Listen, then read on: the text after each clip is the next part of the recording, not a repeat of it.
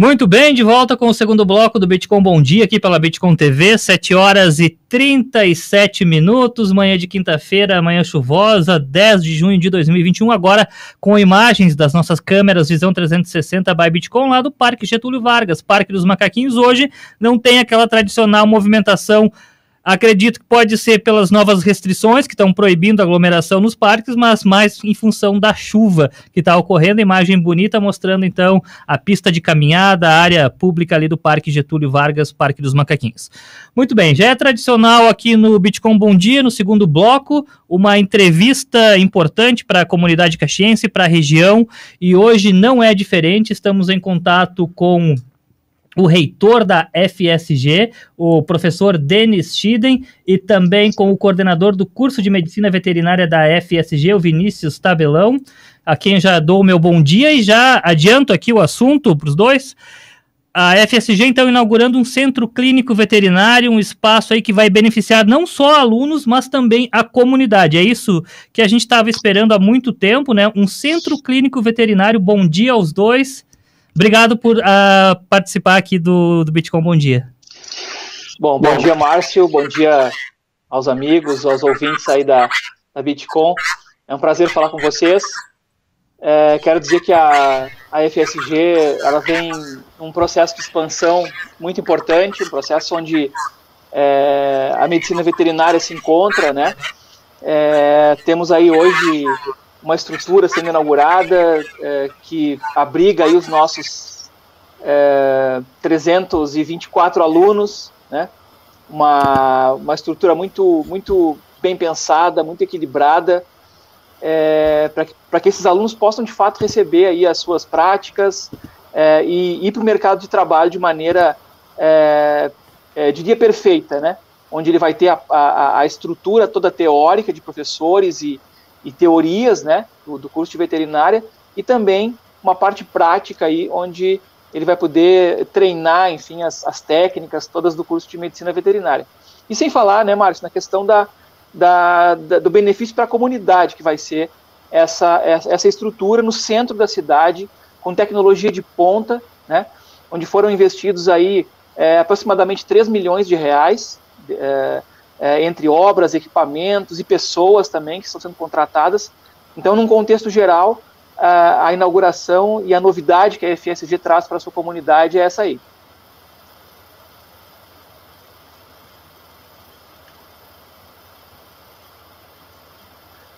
Bom dia, Márcio, ouvintes né, e telespectadores.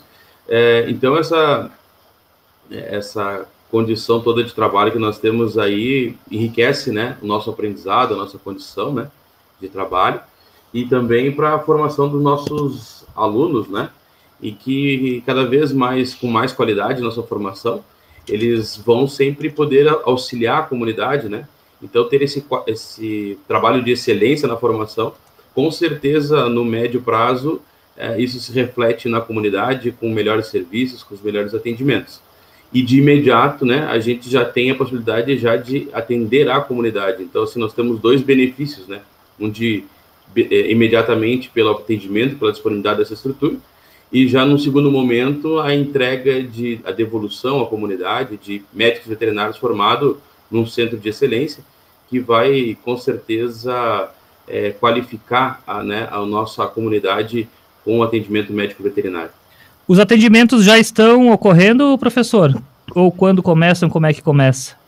Sim, nós estamos hoje atendendo já das, de segunda a sexta, né, ali no nosso campo sede, na Marechal Floriano 1229, né, das duas às seis da tarde, ou seja, das 14 às 18 horas, né. Nesse primeiro momento, preferencialmente, a gente tem trabalhado mais com agendamentos, mas isso não significa que a gente não possa atender né, em algumas pessoas com urgências, né, e, mas a gente está nesse horário e nós temos um plano estruturado de desenvolvimento e crescimento e ampliação do horário, que nós vamos migrar em direção à noite, né? E também em direção à, à manhã. Então, seriam dois momentos subsequentes, de acordo, que vão crescer de acordo com a demanda da comunidade, né? Então, a comunidade demandando mais do nosso serviço, nós vamos expandir até a noite, para chegar no horário aí, provavelmente até as 22, né? E depois, num, num outro momento, começar a atender de manhã, das 8 até meio-dia. Esse é o nosso plano, né? E que vai em consonância com a comunidade se expandindo.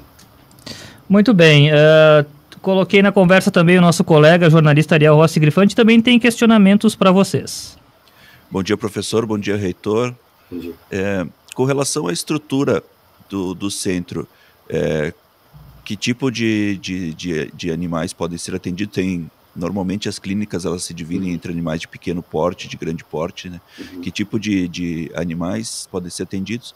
Que tipo de serviços podem ser prestados? No sentido, é, são atendimentos é, ambulatoriais, clínicos ou também de alta complexidade, cirurgias?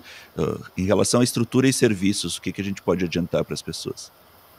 Bom dia, pergunta muito importante, né, e, e extremamente esclarecedora para o nosso trabalho. A gente vai trabalhar com animais com pets, pets convencionais, que são cães e gatos, basicamente, né, e pets que a gente chama de não convencionais, que aí entram as aves, né, como calopsitas, araras, né, é, tartarugas, né, que são os animais nós é, categorizamos como pet não convencionais. E também com grandes animais, mesmo uma estrutura no centro de Caxias, podemos assim dizer, né, embora não seja o bairro centro, mas nós estamos dentro do coração do centro, né, é, nós também vamos ter atendimento para equinos, né, e bovinos. Claro que bovinos ser, é muito mais difícil que eles venham, né, e também nem, é, nem sempre é conveniente trazer, tirar eles do seu ambiente, do seu habitat, né, mas nós vamos trabalhar com, essa, com todas as espécies. Uh, dentre os serviços que nós vamos prestar e já estão disponíveis para a comunidade acessar, entra o serviço clínico, médico veterinário clínico, né? Uh, os serviços cirúrgicos de média e alta complexidade, porque nós montamos um bloco cirúrgico com sistema de gases central, né? Padrão de, poderia até dizer assim, para fazer um paralelo, para a gente ter uma, uma referência, né? Nós poderíamos dizer que seria um padrão quase de um bloco cirúrgico usado no hospital, na hospital humano, né? Dado a sua qualidade, né? De materiais, de equipamentos e de estrutura de gases, né? Então, a gente consegue fazer todos os atendimentos. Somado a isso, nós temos também a parte de diagnóstico, que podem ser trazidos do dono ou tutor para nós, ou ser encaminhado de algum colega, como diagnóstico por imagem, diagnóstico, é, uso do laboratório de patologia clínica para fazer exame de sangue, exame bacteriológico, parasitológico. Isso são todas as estruturas que já estão prontas e funcionando, né? Então, a gente tem essa capacidade hoje de atendimento. Em relação, só um pequeno destaque, o, o, a questão dos equinos, elas vão sair, elas estão já prontas, as estruturas físicas, mas os equipamentos, eles estão chegando nesses próximos dias. Então, nós vamos ter, demandar aí de mais um mês, aproximadamente, para ter condições plenas de atendimento, né? Mas, inclusive, é, para todos os animais terão o espaço e a capacidade de internação. Também nós vamos ter essa possibilidade. Pro, uh, reitor, como é que a FCG está pensando na questão é para a região? A região também vai poder utilizar esse, esse espaço? Foi por que, que foi escolhido Caxias? O que, que dá para destacar nesse sentido? Bom, Márcio, é, sim, sem dúvida nenhuma. Nós já estamos em contato é, com várias prefeituras da região. Né, o professor Vinícius, eu, temos contatos aí com as prefeituras de Flores da Cunha, Farroupilha, Bento Gonçalves, é, Flores da Cunha, enfim, enfim as cidades da nossa região aqui, é, e, e, todo o acesso a essa, esses canis municipais, é, é, também algumas questões com os grandes animais, também que o professor Vinícius falou, todo essa, esse, esse, esse contexto está sendo contemplado, né? A gente sempre lembra que, que a, é, a nossa medicina veterinária é uma escola, né? É, mas também, obviamente, nós somos uma, uma empresa privada, né? Então, é, existe todo um, um, um, um estudo, uma estratégia, um equilíbrio de, de, é, é, de custo também, né, que é super importante. Uhum. Hoje, os materiais cirúrgicos, principalmente, eles, eles aumentaram muito o valor, né? Então, é, é essa, essa estrutura toda vai ser muito bem pensada para que a gente possa ter uma, um, uma, uma operação sustentável, eu diria, né? É, discutimos ali na, na entrevista coletiva, na, na, na quarta-feira, na terça-feira, melhor, é, foi, fomos perguntados pela, pela questão do, do, do, do, se seria cobrado esse serviço, né?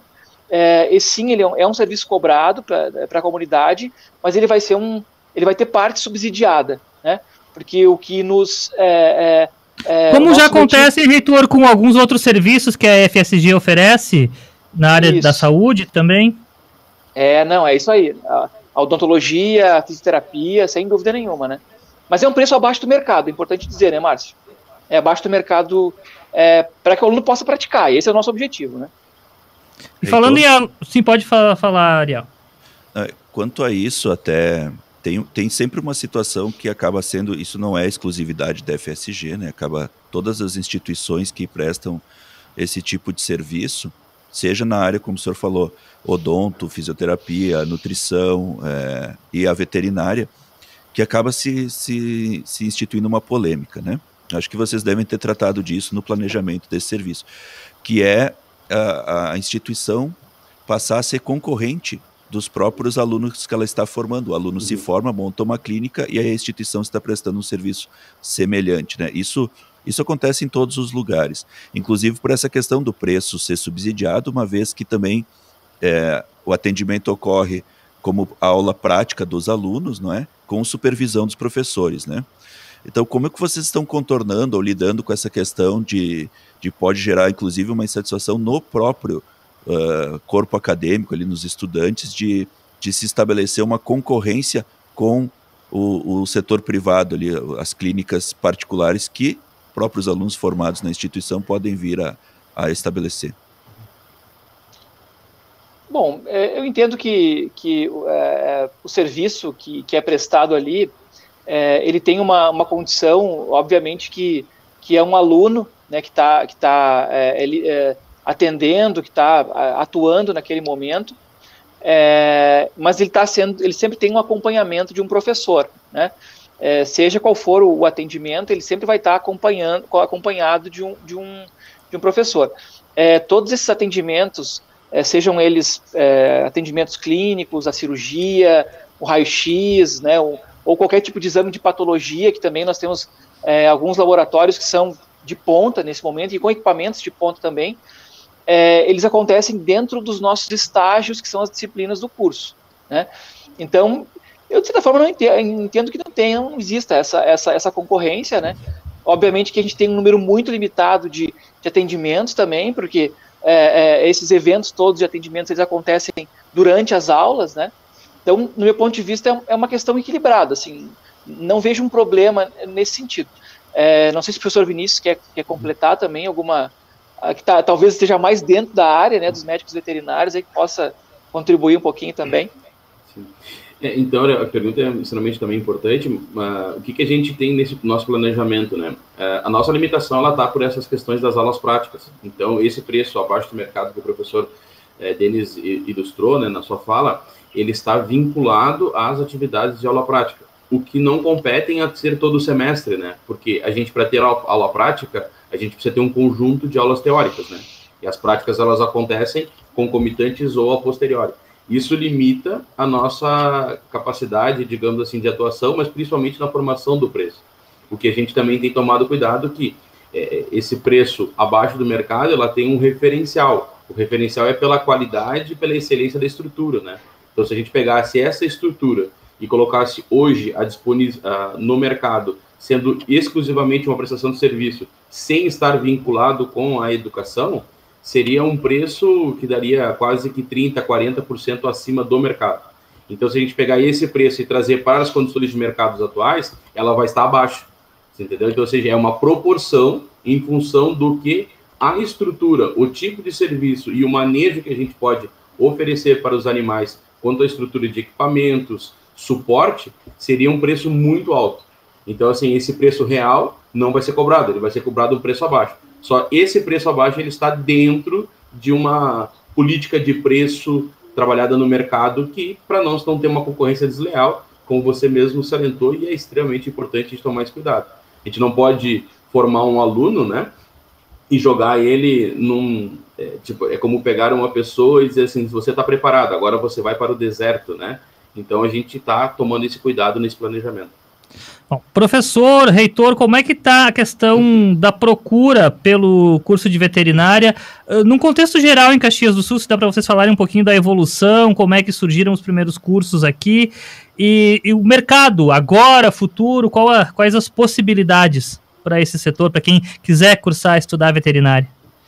Claro. É, bom, o mercado ele, ele, ele está bastante aquecido, né, Márcio? Tem uma, uma procura bastante grande.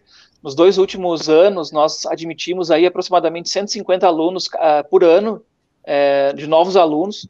O nosso curso ele tem uma característica importante, que ele é um curso noturno. Então, dentro dessa, desse, desse contexto né, nosso da região, aqui onde a gente tem muitas indústrias, enfim, é, muitas pessoas têm um sonho né, de cursar medicina veterinária e, e, ela pode trabalhar de dia numa indústria tranquilamente e vir é, num vespertino noite e trabalhar, é, é, estudar conosco ali, né? Então o mercado ele está ele tá bastante aquecido e, e, eu entendo que as pessoas que buscarem essa, essa opção conosco elas vão estar muito bem atendidas, né? Acho que é importante destacar também no final desse ano agora, 2021, nós já temos a primeira turma formada do curso de medicina veterinária, né? Que começou, esse curso começou em 2016, no, no segundo semestre, né? É um curso de cinco anos, então ele, ele a gente já vem é, atuando com esses alunos é, tanto nas teorias dentro da FSG, até agora nós tínhamos parcerias com hospitais veterinários, é, com fazendas escolas, né? Mas a, a, agora a gente vai trazer é, para dentro da FSG todo esse serviço, toda essa prática, para que o aluno possa cursar 100% da faculdade dentro do nosso campus, que fica ali na Marechal Floriano, 1229, em frente ao comercial Alvorada, né? Como o professor Vinícius falou, aí no, no coração de Caxias do Sul, no coração do bairro São Pelegrino. Bem, Ariel, tem mais um questionamento?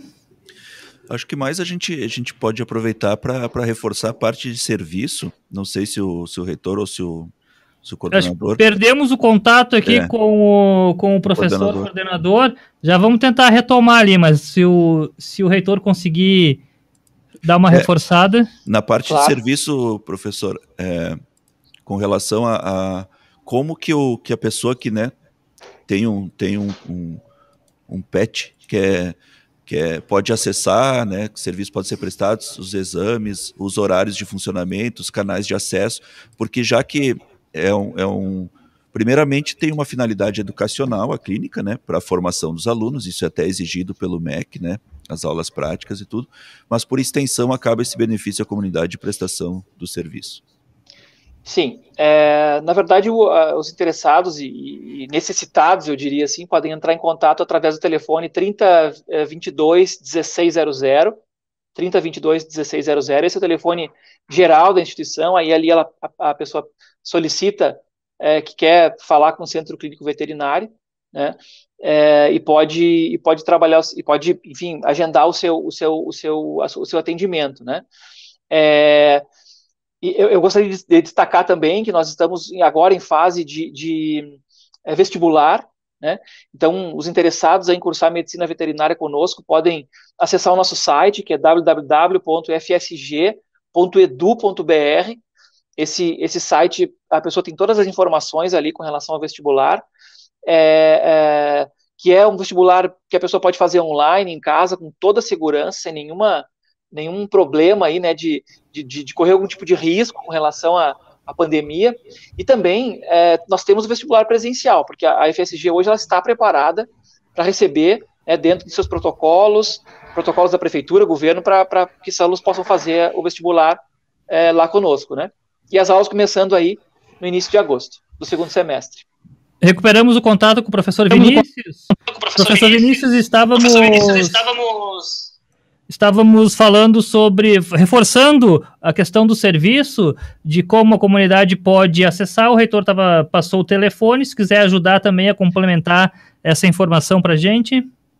Sim, perfeito. É, teve uma queda aqui na minha, minha rede de internet, agora entrei pelo celular, pelo 3G. Isso aí, às vezes... Tranquilo. É, tranquilo. Tá. Muito bem, então a gente está com essa uh, pelo telefone, né, no agendamento que o professor Denis passou, né, que a gente vai, a gente está fazendo, mas também é possível que, é, como eu comentei, a gente alguma necessidade que algum tutor, né, possa ter, a gente pode estar tá lá atendendo nesse horário das 14 às 18 horas lá na, no campo sede, na Marechal Floriano 1229.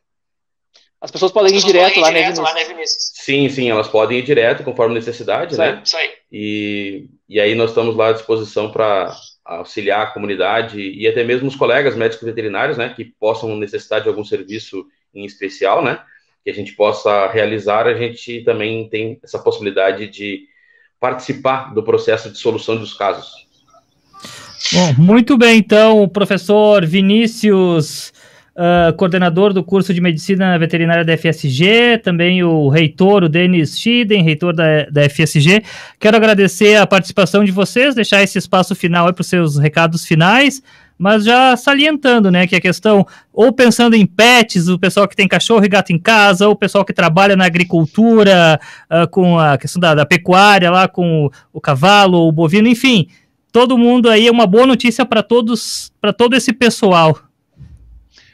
Bom, legal. Bom, legal. Quero, Quero agradecer, agradecer, a vocês, aí, pela, aí pela, pela, oportunidade, pela, pela, pelo espaço, espaço né, de poder né, divulgar, um, pouquinho divulgar um pouquinho os nossos serviços e eu acho que principalmente uma expansão, né?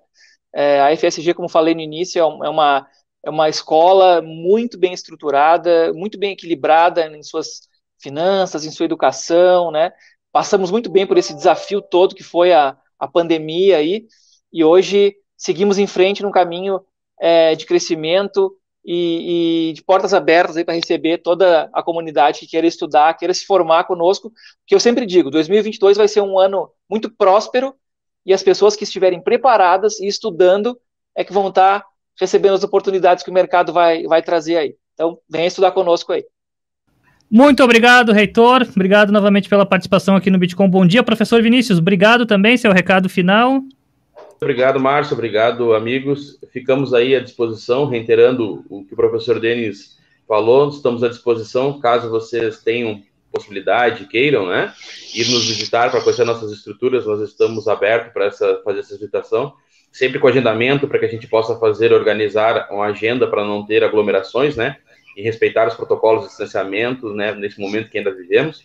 E o curso de medicina veterinária está de portas abertas e mostrando uma oportunidade para a gente qualificar e formar em grandes profissionais aí para a nossa comunidade da Serra Gaúcha. Muito obrigado. Com certeza, na, na, sequência, eu vou entrar em contato para a gente ir lá e mostrar aí com a nossa equipe de reportagem, pode ser, mostrar o atendimento, mostrar os pets, falar com os alunos, com Vamos quem está indo lá, pode, ser? pode ser? Estamos à disposição, podemos agendar sem problema nenhum. Ok, okay. Muito, muito, muito, obrigado, muito obrigado então. então. Eu conversei com o professor Vinícius Tabelão, coordenador do curso de Medicina Veterinária da FSG, e também com o reitor Denis Schiden, reitor da FSG, já que a instituição está inaugurando um centro clínico veterinário. Muito bem, são oito horas em ponto antes do break comercial. Nós vamos atualizar os recados com o Romualdo Corlatti. Corlatti, temos recados Shirley Batacini, bom dia a todos. A Ivanir Fim, Ivanir Fim, bom dia, ótima quinta-feira. Brasília amanheceu em tons azul, preto e branco, pois o Grêmio joga hoje aqui Copa do Brasil, é verdade, né? O Grêmio joga lá em Brasília, com o Brasilense. A Luz Maria, bom dia, muita chuva em Vila Cristina, está ficando noite de novo. Valmir Décio Posser, mandando bom dia, Sidney Rigon, mandando um bom dia, são os internautas ligados aqui na Bitcoin TV. Muito bem, o Modo Corlate atualizando os recados aqui no Bitcoin. Bom dia, 8 horas e 1 minuto. Vamos fazer um rápido break comercial. Na sequência, tem o esporte com Marcos Vaz. Temos Padre Renato Ariotti também, muito mais informação chegando aqui no Bitcoin Bom Dia depois do bloco comercial. Já voltamos.